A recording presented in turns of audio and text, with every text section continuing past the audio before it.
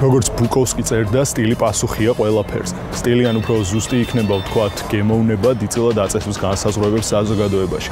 ქმნის ბინარობებს ლამაზის და შეუხედავეს, კარგის და ცუდის, გემოვნებიანის და უგემოვნოს. გემოვნება ერთგვარი მდგენელია საკუთარი თავის სოციუმთან დემონსტრირების და სოციუმის მიერ შენ განახვის. გემოვნება ყველაზე ხშირად ხდება განშის საგანი, შთაბეჭდილების ჩამოყალიბების ადამიანსა თუ გარემოებაზე აზრის შექმნის მედიუმი. ფრანგი სოციოლოგი პიერ ბურდიე კულტურული კაპიტალის თეორიაში საუბრობს სიმბოლურ მნიშვნელობებზე, როგორიცაა გემოვნება, პირადი საკუთრება, მანერიზმი და ასე შემდეგ. მოკლედ ყველა ის თვისება, რაც ადამიანს ვლინდება, როდესაც კონკრეტულ სოციალურ კლასს წარმოადგენს, ან სურს რომ წარმოადგენდეს. კულტურული კაპიტალის კონკრეტული ფორმები ეხმარება ადამიანს სოციალურ მობილობაში, გავლენის მოპოვებაში, ელიტურ ჯგუფებთან დაახლოებაში.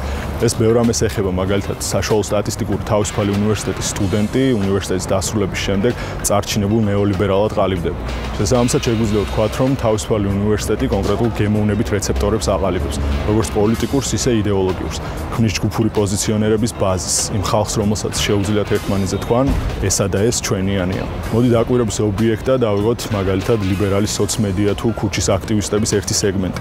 ახალგაზრდობის ის ნაწილი რომელიც არ აღიარებს რომ ნაცები არიან და ძალიან საყვარლად ცდილობს საკუთარი პარტიული სიმპათიების შენიღბვას ისინი თავისუფლად დაცინიან მიშას და გვარამიას. მართალია ყოველთვის ერთგვარი სიტბოთი მაგრამ მაინც ესეც იმიტომ რომ მიშას და ნიკაც აშკარა გოიმობის უგემოვნობის ყოველგვარი უსტილობის პარადიგმაში არიან გამოწყდეულები და მათი მოწონება ნიშნავს საკუთარი უგემოვნობის გემოვნობის დემონსტრირებას, სექტანტ მიშისტებთან თავის გაიგივებას. რადგან მათ არც ჩაცმულობით აქვთ მა არაფერ სტილურთან, მათ სამოთხოლო აპარატი კი უაღრესად კაპასი და სხვადასხვა ფობიები თუ დისკრიმინაციული ლექსიკითაა სავსე, რაც არ ჯდება კარგი კეთილი ლიბერალის გაცხადებულ იმიჯში. თუმცა ამ ორი ემბლემატური მიშიზმის ოჯახის მწყემსის მიღმა, მაგალითად ნაცების ახალსახეებს თუ ძველ კოლორიტებს ვეღარ ეხებიან თვითგამოცხადებული პროგრესისტები.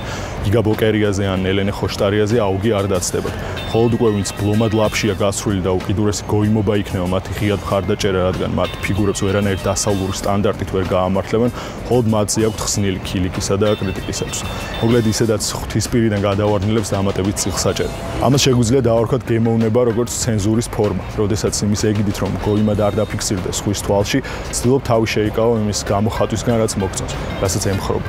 უბრალოდ მოწონებული შინაარსის არალიბერალურად პოზიციონირების ფორმა ქმნის ბარიერს, რომლის გადალახვაც ლიბერალურ საჯარო სივრცეში იარაღს მოგაკერებს. მაგალითად, საშუალო სტატისტიკური ქართველი ლიბერალი ვერ მიცემს თავისუფლებას პოზიტიურ ჭრილში გააზიაროს პოზიტივის კონტენტი.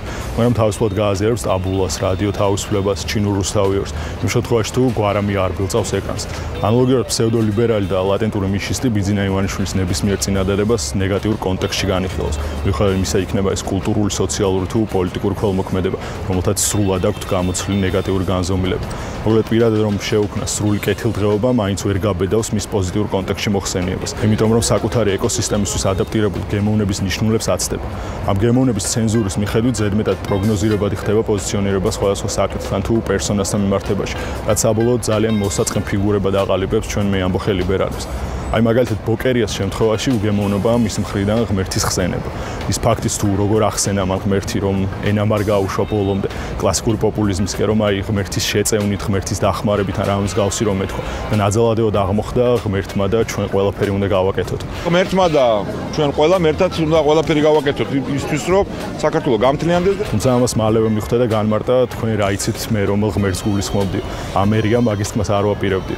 რეალურად მას შეეშინდა თავის პოტენციური ლიბერალი ამორჩეულის თვალში გაგოიმებს. ქართულ ადამიანს კი მოგეხსენებათ იმაზე მეტად არაფერი აშინებს ვიდრე გოიმის სტატუსი. თუმცა ყველა ზემოთხსენებულნი და ისინი ვინც გემოვნების ცენზურას იცავენ თუ მის კვლავწარმოებას ეწევიან, პირველ რიგში იმიტომ არიან გოიმები, რომ საკუთარ აუთენტურ გემოვნებას ფარავენ. ეს კი ყველაზე დიდი უგემოვნობაა.